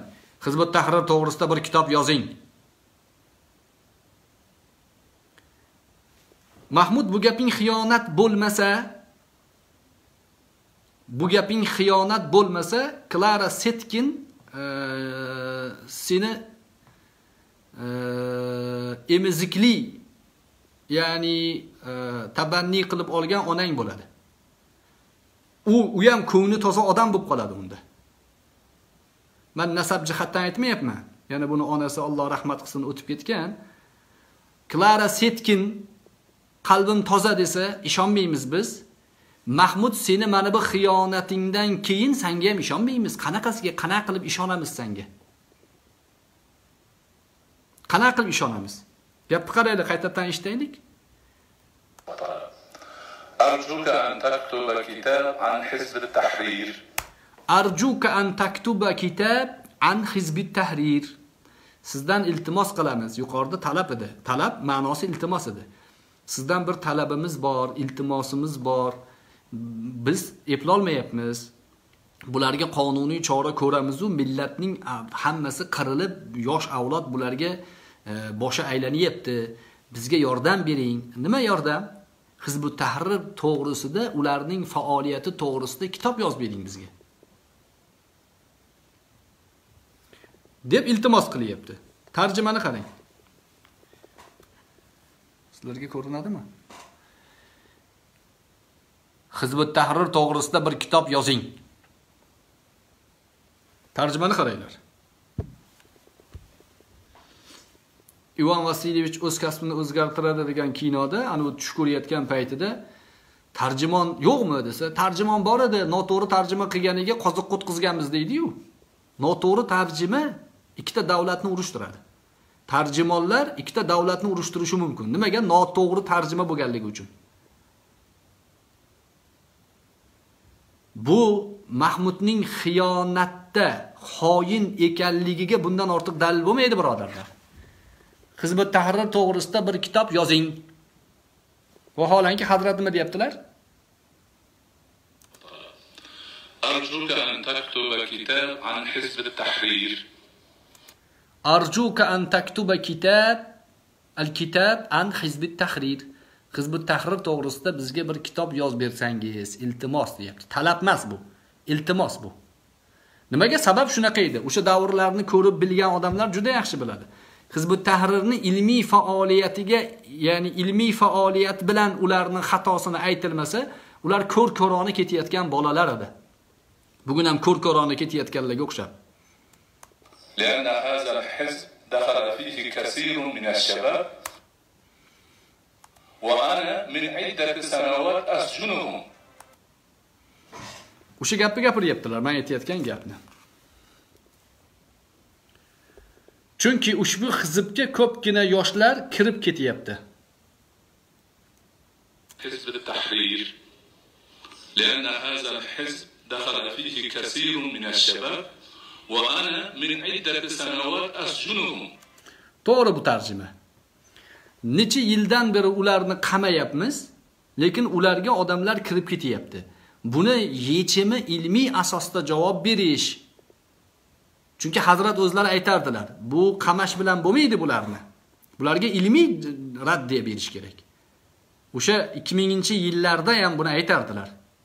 Xos suhbatlarda ham aytardilar bularni qamab bularni e, bunaqa istibdod bilan e, faqat va faqat ularni qilayotgan faoliyatini oqlab berganga o'xshatadi. Noto'g'ri u. Ularga ilmiy faoliyatda javob berish kerak degan edilar. Bu gapni o'sha e, ichki ishlardan bo'lgan mas'ul shaxs e'tirof qilyapti. Haqiqatni eplab bo'lmayapti. Kitob yozib bering iltimos deb. Tarjimani qaranglar. Bu tarjima xulosani qaranglar. Yuqorida eshitdinglar. Endi xulosani qaranglar. Endi esenbek zakaz qilsa bechora yozgan. U bechora yozganligini o'zi ham aytib bergan. Boshlandi tuhmatni qaranglar. Eri taloq qilib xotiniga tuhmat qilgan e, qo'lga tushib qolgan fohisha xotinlar bo'ladiyu shunaqa qilyapti hozir. Buni eri taloq qilib yuborgan nimaga ushlab olgan eri buni? Majoziy ma'noda aytyapmanda yana. Keyin ko'chaga chiqib olib nima deydi? Meni erim deydi undoq edi mundoq edi deydi shantaj qiladi montaj qiladi. Shunaqa qilyapti. Hazratmish majbur bo'lib kitob yozgan ekanlarda majbur yozganlarini borib kimgadir aytib uzr so'ragan ekanlar. Gapni qaranglar. Hajga borganda o'sha yerda hajda bolalarga o'tirib aytib bergan shunaqangi ilojsizligimizdan ishlar qilganmiz deb o'zi aytib bergan. Ya'ni olloh shu gunohlarini shu zakazda bajarib qo'yganligini xohlasa kechiradi xohlasa azoblaydi. Gapni qaranglar bu nomussizni bu gapini qaranglar. Man erkak kishimanda erkak kishida ozgina haligi e, keskinlik bo'ladi. Agar ushlab olsam mana shu bolani ko'cha ko'yda biror joyda. Buni ana shu gapirgan gaplarini tishini qoqib olaman. Javob bermasa. Xato ish bu. Masalan bu ishni qilishim xato ish lekin erkakman man erkak bo'lganligim uchun meni ustozim bo'lgan islom ummatini o'zbek zabon musulmonlarining ustozi bo'lgan shayxni nima deyapti? Majbur bo'ldim yozibda xato qilib bo'lsa ham qoralab yozib berdim e, hizbi tahrirni. O'shaning uchun man e, bu narsaga uzr so'rayman. Sizlar kechirib qo'yinglar deb hajda odamlarga shunaqa degan emishlar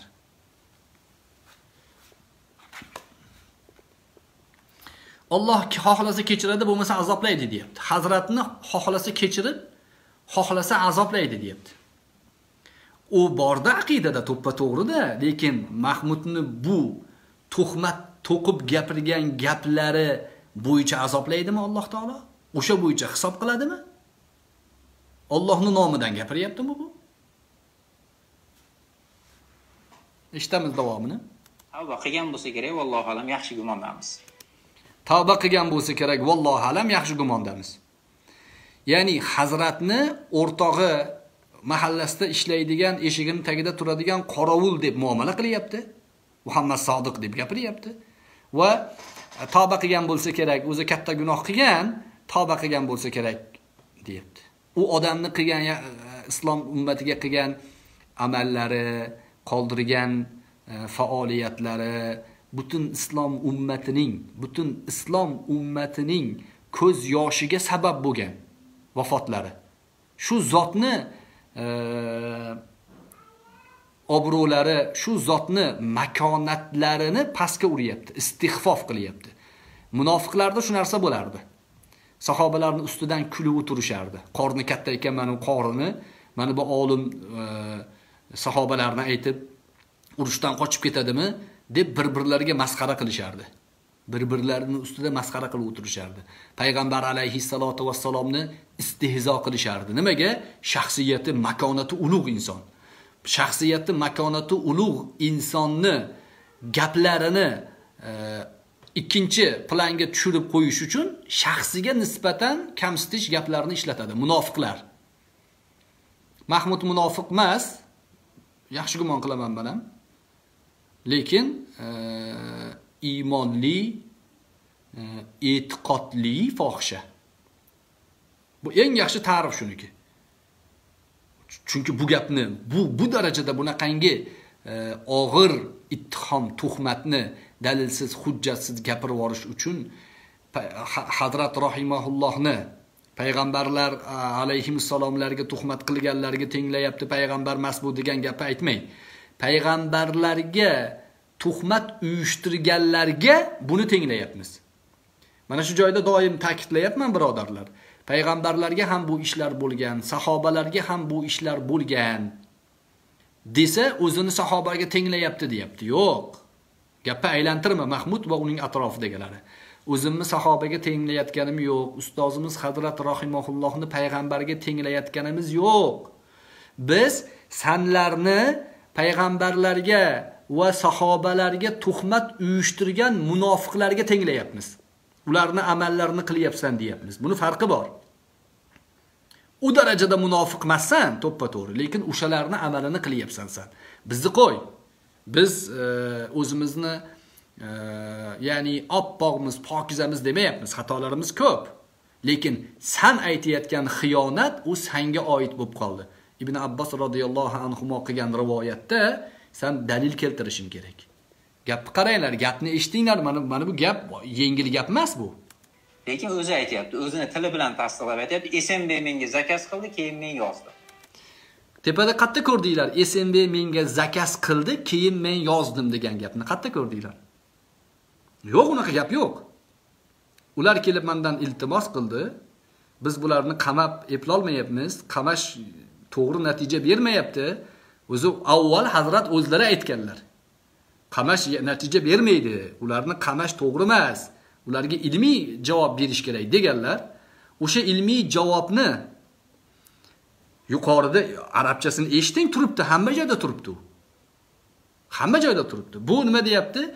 Smb manga zakaz qildi keyin man yozdim deyapti o'zini og'zi bilan dedi. Qayerda aytdi mahmud shu gapni? Qayerda hazrat shu gapni gapirdi? Yo'q aytmaganlar man xiyonat qilganim yo'q. Xiyonat qilganim yo'q. O'zini tili bilan aytdi deb atrofidagilarni aldayapti. Yechim islomda profilidagilar. Aniq din dushmanlari yig'ilib olib bu ishni qilishyapti. Bu siyosiy fohisha bu. Siyosiy fohisha bizni ustozlarimizni gaplarini noto'g'ri tarjima qilib atrofidagi bechoralarni ko'zini shamg'alat qilyapti. Ishonmanglar buni labi botiks. U qoshida terib olgan ko'ziga kiprigini pirpiratib turgani kiprik o'ziniki emas kiprik ulangan u. Figura ham buniki emas. Hammasi sun'iy. Bu metafora birodarlar. Fohishalar shunaqa aldaydi. O'zi g'irt iflos odamlar bo'ladi odamlarni ko'ziga chiroyli ko'rinib chiqib e, reklama qiladi o'zini. Aldanmang aldanmang fohishada er bo'lmaydi. Mahmudlarda sadoqat bo'lmaydi. Mahmud fohishalik qilyapti. O'zini tili bilan aytdi deyapti. Undan keyingi gapni eshiting. Smb zakaz qilmagungacha yozmagan. Smb oddiy zakaz qilmaydi keling. Faloncha pul beraman shuni yozib bering demaydi. Smb tahdid bilan yo shuni yozasan yo seni ustingdan biz yozamiz. Astag'firulloh e'tibor berasizlarmi? O'zi to'qiyapti bu gaplarni. Qayerda? Buni endi kelib hujjatini ko'rsatish kerak. Mahmudaxon siz kelib hujjatingizni ko'rsatishingiz kerak. U ukrainada iddangiz tugasa e, birorta mahramingizni olingda qirg'izistonga keling yoki qozog'istonga keling ko'rishib gaplashaylik. Ko'rishib gaplashganimizda u enangizni uchqo'rg'ondan ko'rsatib tashlaymana lekin bu qilgan xiyonating bu qilgan xiyonating o'sha seni atrofingda yurgan musulmonlarga ham e, bir vazifa yuklaydi. Sanga haddingni bildirish kerak. O'sha ukrainadami qayerda bo'lishidan qat'iy nazar? Musulmon birodarlar bu xoinning bu xiyonatini o'ziga ko'rsatish kerak. Ko'rsatish kerak bunga. Bu degani samasud qiling deyotganim yo'q borib. Samasud qilishlikka man tarafdor emasman. Lekin buni yoqasidan ushlab gapiga javob talab qilish kerak. Qayerda hazrat hazrat dunyoni xohlagan burchagida xohlagan joyida xohlagan e, kayf safoni qilib yashashga imkoniyati bor odam edilar. Xalqimga xizmat qilay xalqimga kelib xizmat qilay deb kelib shu joyda majbur emas edi hazrat toshkentga kelib o'zbekistonda yashashga. Borgan mamlakatlarida podshohni uyini oldida yashardilar xohlasalar. Shunaqa edilar. Kelib tahdid qilgan emishda ichki ishlar bular o'zbekiston bo'lsin qozog'iston tojikiston turkmaniston musulmon o'lkalarini ichki ishlari tashqi ishlarida xizmat qiladigan odamlarni hammasini bular kofir deydi. Kofir deydi. Xizmat qilmaslik kerak ular. Nima qilish kerak ular? Bularning nazdida ular hammasi ish tashlab hizbi tahrir bo'lishi kerak. O'zbekistonni ham e, himoya qiladigan armiyasi bo'lmaslik kerak ichki ishlari bo'lmasligi kerak tashqi ishlari bo'lmaslik kerak. Bularni nazdida shunaqa. Ular eplolmadi masalan o'sha davrlarda bu bolalarni yoshlarni qamash orqali eplasha olmadi. Nima bo'ldi keyin? Ahli ilmga murojaat qilishdi. Hazrat din nasihatdir degan kitob yozdilar. Din nasihat degan kitob yozilgan zahoti minglab hizbiylar to'xtadi. Minglab hizbiylar to'xtadi. Kitobni o'qib shaxsan guvohi bo'lgan odamlar aytadi. Kitobni olib borib o'sha zonada yoki tergov jarayonida e, oldiga qo'yib qo'yishib indamay chiqib ketishgan. Ataylab qamab bir xonaga kitobni qo'yib qo'yishgan bo'ldi chiqib ketishgan. Bir kun yarim kun o'tgandan keyin haligi odam baribir zerikib kitobni o'qib mahmud va uning atrofidagi sharlatanlar buni aldaganligini ko'rib qolgan kitobdan.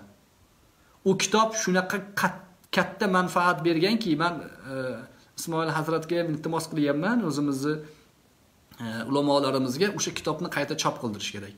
O'sha kitob qayta chop bo'lib endi ovozlik bo'lsa ham nusxasini tarqatish kerak. Bu sharlatanlarning yuzini ochib tashlagan kitob. O'sha sharlatanlarning yuzini ochgani uchun hazratga qo'rqmasdan tuhmat qilyapti. Kitobni olib raddiya berayotgani yo'q. Davom etamiz. Degan tahdid qiladida shu jonidan qo'rqib odamlar nimalarni yozmaydi? Mana o'sha hatto eng katta shayximan deb turib o'sha odam qayoqdagi iflos gaplarni o'sha yerga yozib tuhmat qilgan yolg'ondan. Qayoqdagi iflos gaplarni yozgan deyapti hazratni. Hazrat iflos gaplarni yozgan emish. Bu gapni gapirgan odamning o'zi iflos bo'lmasa unda klara setkin taqvodor qiz bo'lib qoladi.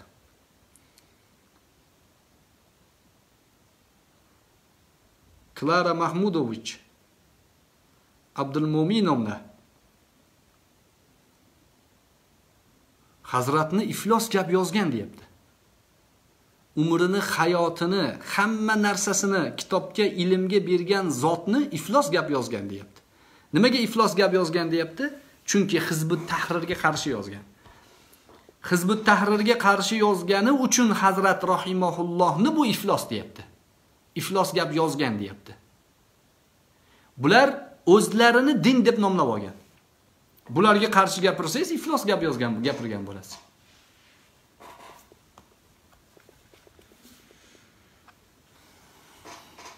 Endi tuhmat bor shu tuhmatni ham e, isbotlashimiz kerak.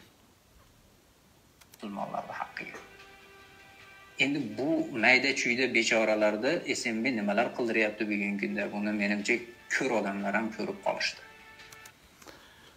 Ko'r odam ko'rmaydi. Birinchidan davolan. San e, menimcha e, hammaga aniq buni ko'pchilik biladi hamma biladi degan gaplar bilan aldayapsan atrofingdagi bechoralarni. Endi sandan ko'pchilik yuz o'girdida ziyoli qatlam mutlaqo seni eshitayotgani yo'q. Sandan sandan. Siyosiy fohishalik ma'nosida foydalanishyapti. San kimga keraksan muxolifatga keraksan qaysi mamlakatda qaysi davlatda bo'lsa ham muxoliflar uchun keraksan masalan o'zbekistonda seni yoqlaydigan bitta jamoani bilaman. Kim? Olg'a qoraqalpog'iston degan jamoa bor. O'sha jamoa seni yoqlaydi. Mahmuda. Klara. Buni klara qo'ysak bo'lar ekan nomini. Klara muhimroq ya'ni yaxshiroq bu. Olg'a qoraqalpog'iston degan bitta guruh bor to'qqizta o'nta odamdan tashkil topgan alkashlar guruhi. Alkashlar. Ichib olib bittasi italiyada o'tirib olgan bittasi yevropani qayerdadir o'tirib olgan chiqadi jonli muloqot qiladi youtubeda gapiradi. Nima emish? Qoraqalpog'istonni o'zbekistondan ajratib olishimiz kerak. Chegara noto'g'ri qo'yilgan. Buni chegara haqidagi gaplarini olib olg'a qoraqalpog'iston e, gruppasida tarqatishyapti mahmud kimga kerak ekan? Mahmud siyosiy fohishalarga kerak. Siyosiy muxolifatlarga kerak. Bu tuhmatlari javob beradi inshaalloh. Chunki buni o'zlari tasdiqlayapti. Ya'ni bizni tuhmatimiz emas kimdir ey shayximizga tuhmat qilma deb ham chiqadi ertaga rosa ko'p chiqadi deng. Shayxlarni videosini o'qib qo'yaman ya'ni menga smb zakaz qildi yozdim degan gaplari o'zini og'zidan montaj emas ochiq. Ochiq gap o'zini og'zidan montaj emas. Mana isbotlayapmiz montaj keyin san jumlalarni noto'g'ri tarjima qilyapsan. Arjuka sizdan iltimos qilamiz desa hizbi tahrir haqida kitob yozing deb buyruq deyapsan. Buyruq qilgan tahdid qilgan deyapsan. Tahdiddan san qo'rqasan. Turkiyadaligimizni bilib qoldi deb oyog'ing kuygan tovuqdek qochib ukrainaga bording. San qo'rqasan tahdiddan. Hazrat rahimulloh tahdiddan qo'rqadi qo'rqarmidi? Hazratni san kimligini tushunishing uchun san erkak bo'lishing kerak. Ko'chada yuradigan erkak bo'ladiyu haqiqiy erkak gapiga javob beradigan. O'sha erkak masliging uchun hazratni tahdidlardan qo'rqmasligini tasavvur qilolmayapsan hazrat rohimaulloh umrlarida to'qqiz marta suiqasdga uchraganlar. To'qqiz marta suiqasd qilingan hazratga. Bu hozir yangi e, hech kimga aytilmagan gaplardan bittasi. Chechenistonda urush bo'lib turgan paytida urush Э, ya'ni qurolli jang bo'lib turgan paytida o'sha e, ichkariga kirib urushni ichiga kirib musulmonlarni yarashtirish uchun borib o'sha joyda musulmonlarni yarashtirib kelgan inson. Afg'onistonda urush bo'lib turgan paytida Gorbachevni iltimosi bilan talab emas bu ham. San sandan talab qilishyapti o'tiribsan. Gorbachevni iltimosi bilan afg'onistonga borib uch yuzdan oshiq asrlarni afg'on toliblarini qo'lidan olib kelganlar. Rus asrlarini tahdiddan qo'rqarmish. Hazrat tahdiddan qo'rqib qo'rqqanlaridan kitob yozib yuborgan emishlar mahmudni tushunchasi saviyasini ko'ryapsizmi? Shunaqa tasavvur qiladi. Shunaqa tasavvur qiladi. Chunki o'zida shu tasavvur bor. O'zida shu tasavvur bor. Davom etaylikchi? Gapirgan. Shuning uchun ularni o'ldiraversangiz yuborsangiz to'g'ri bo'lmaydi. Shu muhammad sodiq ham borib o'sha hajga borganda bir qancha musulmonlarni orasida men shunaqa kitoblar yozib qo'ydim shunaqa majbur bo'ldim e, birodarlar alloh uchun rozi bo'linglar deb shunaqa kechirim so'ragan deb endi shunaqa uchrashgan odamlar aytdi. Rost yolg'onligini bilmayman endi ishonchli odamlar uchun men tasdiqladim. Voy klara setkin klara setkin. Hazratmish gapni eshiting hajga borganda birodarlarga musulmonlardan bir jamoaga aytgan emishlarki birodarlar meni kechirib qo'yinglar bilmasdan shunaqa kitoblar yozib qo'ydim. Rozi bo'lib qo'yinglar e, debdilar odamlarga. Bu mahmud rasayan uni tekshiribdida rostmi yolg'onligini bilmabdiyu. Rostmi yolg'onligini bilmadimu? Lekin ishonchli odamlar bo'lgani uchun tasdiqlab qo'ydim. Yo ishonchli odam bo'lgani uchun tasdiqlamayapsan mahmud. San o'zingni fohisha ekanligingga o'sha gaplar yoqqani uchun tasdiqlayapsan. Dalil keltir. Hatu burhanakum in kuntum sodiqin. Agar gapingga dalil keltirmasang seniku o'zi e, kimliging ma'lum. Atrofingdagi odamlar ko'zinglarni ochinglar. Siyosiy maqsadi bor odamlar buni atrofidan ketmaydi. Bundan foydalanib foydalanib tashlab yuborishadi oxiri. Lekin siyosiy maqsadingiz yo'q. Sof islomga sof shariatga amal qilaman degan odamlar bu mahmudning mana bu xiyonatlaridan ogoh bo'ling birodarlar. Xiyonat qilmayman tuhmat qilmayman degan odamni hammasi ham shunaqa bo'lavermaydi. Ho'p davomi kerakmikin? Ha mayli alloh gunohlarini mag'firat qilsin deb ha mayli alloh gunohlarni mag'firat qilsin bu kechiryapti endi munkar nakirga o'xshayapti o'zicha bu shunaqa ekan odamlar eshenbek majburlaganda shunaqa qilib bor ekan hali xudoni ibodatini qilgani borganda esiga tushib tavba qilar ekan bu bu yuz foiz o'zi aytayotgan yolg'onga o'zi ishonyapti afandi bor latoif bor ajoyib bir afandi bir to'da bolalarni ko'rib afandi aytgan ekan u e, bog'da bog'bon yong'oq tarqatyapti yong'oq. Boringlar hammanglar desa bolalar qiy chuv qilib baqir chaqir qilib hammasi yong'oq tarqatyapti ekan deb yugurib ketib qolibdi haligi qiy chuvni eshitib afandi o'zi ham ishonib ketib qolibdi o'zi ham orqasidan yugurib borganmish o'zi yolg'on gapirgan uni. Qiy chuvni hayajonidan u haqiqatda rostdan tarqatyaptikan bo'lsachi deb yugurib ketib qolibdi o'zi ham. Mahmud o'zi yolg'on gapiryapti. Yolg'on gapirib oxirida nima deyapti? Majbur ekanda endi shu nima qilamiz endi? Alloh gunohlarimni afu qilsin tavba qilgan bo'lsa kechirsin deyapti. Erishayotgan odamlar ham borib tavba qilsa hech narsa qilolmaysiz endi alloh tavbalarini qabul qilsin deb so'raysiz xolos. Shuning uchun ularni qatl qilib bo'lmaydi. Ularga nasihat qilib ertaroq tavba qilishga chaqirish kerak. Balkim o'sha tavbaga ulgurmay o'lib ketsang yomon bo'lasan deb shularni tavbaga chaqiring qatl qilmang.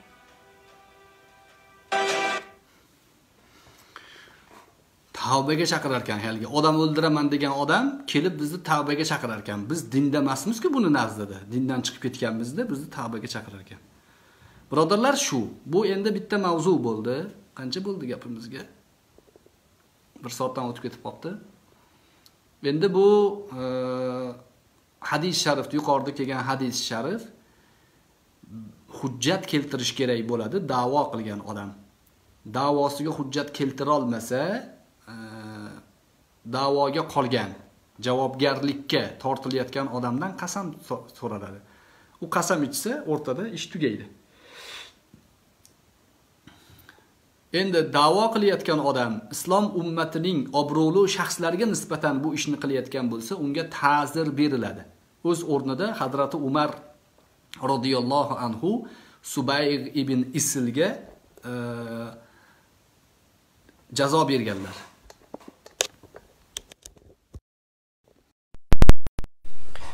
Subayg ibn isilga jazo berganlar. Jazoni o'zlari tayinlaganlar. Har kuni nechi e, o'sha xurmoni ho'l navdasi bilan nechi marta darralardilar. Hushidan ketar darajada urardilar. Tasavvur qiling hozir hazrati umar roziyallohu anhu bo'lsalarda mahmudni ushlab olib urib pachag'ini chiqarib qamab qo'ysalar. Qamab yig'latib ertasi kuni e, tuzalsa olib chiqib yana urib yana pachag'ini chiqarib yana qamab qo'ysalar. Mana shunaqa qilsalar hazrati umarga e, bu kishi dinni monopoliya qilyapti bu kishi berahmlik qilyapti deya olasizmi? Deyolmaymiz. Nimaga? Chunki u kishi mana shunaqangi fitnachilarga. Islom ummatining ichida mana shunga o'xshagan asossiz tuhmat gaplarni tarqatadiganlarga keskin jiddiy tarzda turganlar ta'zir berganlar ta'zirlari ishga yaragan hazrati umar tirik ekanlar fitna bosh ko'tarolmagan. Hadrati usmon roziyallohu anhu biroz ko'ngillari bo'sh edi. U kishi indamay indamay bo'pti bo'pti bo'pti dedilar. Jazo ko'rmagani uchun oyoqqa turib ketdi fitna. Hadrati ali davrlarida hadrati alini qatl qilarlik darajaga yetdi. Bu fitnalar jazo ko'rmagani uchun e, ommalashyapti jazo ko'rsa bularga nisbatan e, ya'ni o'zini haddini bildirilsa bular uzoqqa bormaydi. Bular jazo ololmaydigan joyga borib olib bu ishni qilishadi. Jazo ola olmaydiku masalan hozir aytsak "O, gapingga javob ber. Desak ilojimiz yo'qku ushlab buni. Uni razborka zborka qilolmaymizku hozir to'g'rimi? To'g'ri. O'shaning uchun bular to'xtayotgani yo'q. Bular demokratik huquqlardan inson huquqlari erkin fikrlilik so'z erkinligi degan gaplardan foydalanib e, o'sha demokratik davlatlarni ularga berayotgan huquqlaridan foydalanib musulmonlarga hujum qilyapti. Endi tushungandirsiz? Ularni harakatlaridan ko'zlangan maqsad shu. Yana bizga nima deyishdi? Yana bizga demokratiya kufur sanlar demokratiyani araj deyapsanlar e, deb ustimizdan kulishyapti. Ha demokratiyani san yetim bolasisanku o'zing. Biz demokratiyani islom shar'iy nuqtai nazaridan harom demagan jihatlaridan foydalanishga haqqimiz bor. Hamma narsani payg'ambar alayhissalotu vassalom shariatga muvofiq bo'lsa foydalana olardilar. Buni avval ham keltirganmiz. Handaq g'azotida handaq qazishlik fors madaniyatiga oid edi. Payg'ambar alayhissalotu vassalom u madaniyatni oldilar. Rimlar rum tomonlaridan xatlar kelsa qo'llariga uzuk qilib uzukda muhr bosishlikni rim madaniyatidan oldilar. U madaniyat bizni islom madaniyatimizga nisbatan e, zid emas. Nima bo'ldi? Shar'iy nuqtai nazardan olinaverdi hattoki shariatda shunaqa qoidalar ixtilofli bo'lsada ulamolar tomonidan qabul qilingan. Shar'u man qoblana shar'ullana.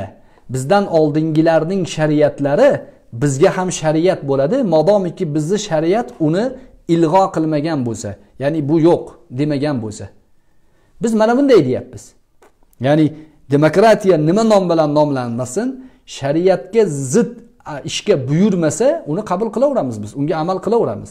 Shariatga zid narsani buyursa aytamiz yo'q bu bizni shariatimiz qabul qilmaydi biz buni deymiz. Masalan amerikani demokratiyasi. Ikkita erkakni nikohlayapti. Biz aytamizki yo'q bu shar'an joiz emas deymiz. Shar'an joiz emas bu. Biz uni qabul qilmaymiz.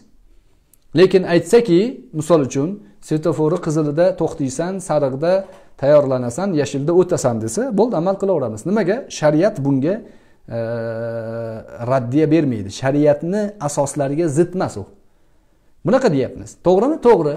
Ya'ni undan biz foydalanyapmiz. Arach degani ustiga minib olib xohlagan tomonimizga uni foydalana olyapmiz. Shar'iy nuqtai nazardan. Lekin mahmud demokratiyani bolasi. Demokratiya tuqqan buni. Hizbut tahrir bo'lib islom ummatining ichidan birorta musulmon mamlakatida bularga joy yo'q. Birorta musulmon mamlakatda bularga joy yo'q. Nimaga misrda emas?